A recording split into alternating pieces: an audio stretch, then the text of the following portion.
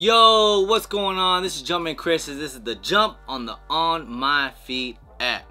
And yes, I know it's been a kind of slow couple few weeks, you know, not many too hyped up shoes been coming out, but still, still a little bit of profit to be made, or is this just some shoes that's been bricking out?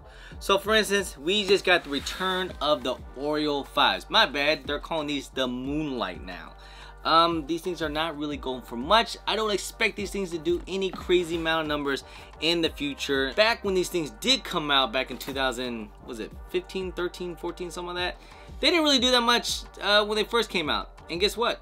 They're probably not gonna do that much now either. You know, fives just don't really do that crazy amount of numbers. It just is what it is. It's not all that hyped up. It is. I know it's a fan favorite shoe, but at the same time, fives just they're just okay.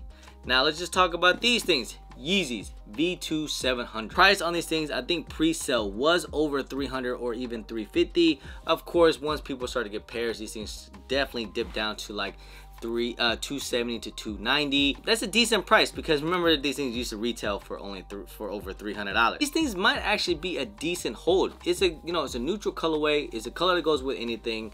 It's a 700 and it's a mauve. You know we had a mauve one didn't really do that crazy up until now. Took a while for these things, for those to go up, but I'm just saying, I wouldn't sleep on these things. These things could do some decent amount of numbers. Is it worth the hold? That's up to you guys, but if you guys got them for retail, why not hang on to them for a little bit? Anyway, guys, this is Jumpman Chris, and this is The Jump on the On My Feet